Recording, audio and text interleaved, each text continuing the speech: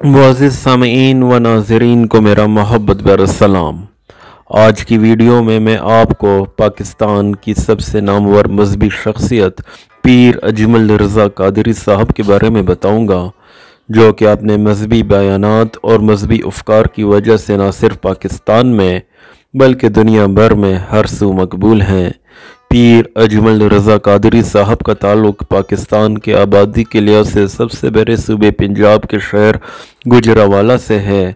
उनका मुकामी कस्बा सुल्तानपुरा गकर है। वो जामिया मस्जिद रहमानिया रिजवी में बतौर ख़तीब काम कर रहे हैं।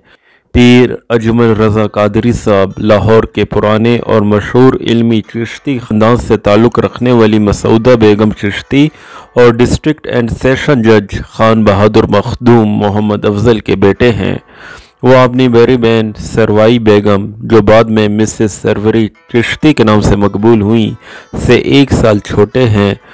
अपने वालदेन की आलीदगी के बाद पीर अजमल रज़ा कादरी साहब अपनी वालदा मोहतरमा के साथ लाहौर के कूचा चाबुक सवारानैन में रहने लग गए। उनकी वालदा एक टीचर थी और बाद में मिशन गर्ल्स हाई स्कूल रंग महल लाहौर की हेडमिस्ट्रेस भी बनी। मैट्रिक के बाद पीर अजमल रज़ा कादरी साहब ने गवर्नमेंट कॉलेज लाहौर में दाखिला लिया। वह फ़लसफ़ा में मास्टर्स के इम्तहान में पहले नंबर पर आए और इस कामयाबी पे उन्हें मुख्तलिफ़ मेडल से भी नवाजा गया। उन्होंने अपनी माँ की खिदमत की और उनके नक्श कदम पर चलते हुए लेक्चरार बन गए। उन्होंने सैदा अख्तर सुल्ताना से उन्नीस सौ निन्यानवे में शादी की, जिन्हें अपने शोर की कामयाबियों पर बहुत फ़ख्र है और वो हर हालत में चट्टान की तरह उनके साथ खड़ी रहीं।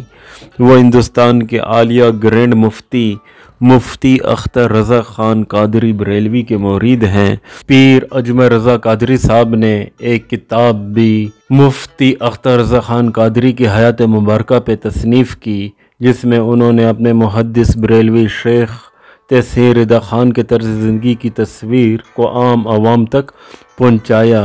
इस किताब को रज़ा अकेडमी मुंबई ने तकसीम भी किया था। वो ज़्यादातर ओलिया पर लागू मौजूद पर गुफ्तु करते हैं। वो मुजद अमाम अहमद रज़ा ख़ान कादरी की आयात पर अमल करते हैं। पीर अजमर रज़ा कादरी तहरीक इस्लाम मुशायरे के बानी भी हैं। यूनिवर्सिटी ऑफ़ एग्रीकल्चर फैसलाबाद में अपनी गुफ्तु में पीर अजमर रज़ा कादरी ने अपने नुक़ नज़र से आगाह किया कि आम लोगों को इस्लाम के इस बात के बारे में एक नुक़ नज़र हासिल करने और पाकिस्तान को एक मैारी इस्लामी हकूमती इमदाद के क़्याम की तो है कि वह अपने वादों को पूरा करने में ख़ुद ज़िम्मेदारी की मश करेंगे। नए वक्त का कहना है कि पीर अजमर रज़ा कादरी ने हवाला दिया कि इस्लाम का अखलाकी मैार अमूमन इस्तकामत का हुक्म देता है। उन्होंने तस्दीक की कि इस्लाम तहमुल अज़म और इस्तकामत की तलकिन करता है।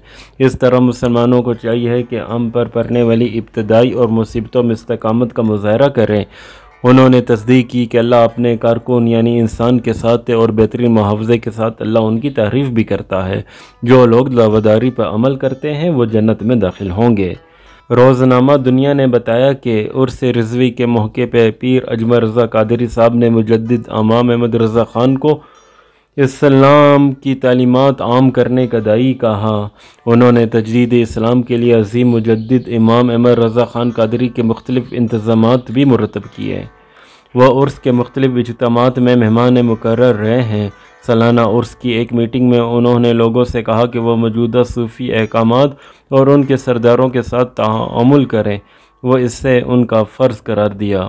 रोज़ बरोज़ जसारत के मुताबिक पीर अजमर रज़ा कादरी साहब इस तरीके की तलकिन करते हैं कि हर मुसलमान के अहतमाद के लिए नबी सल्लल्लाहु अलैहि वसल्लम से मोहब्बत नहाया ज़रूरी है।